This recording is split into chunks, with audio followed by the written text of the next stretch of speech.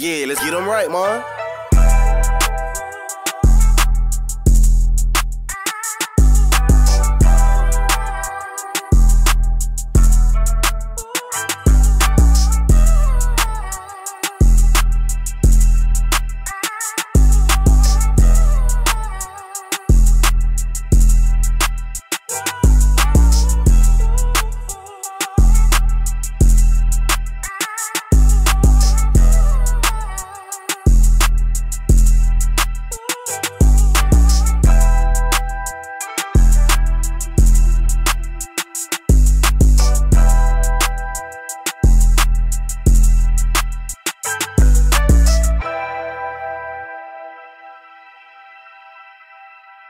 Thank you.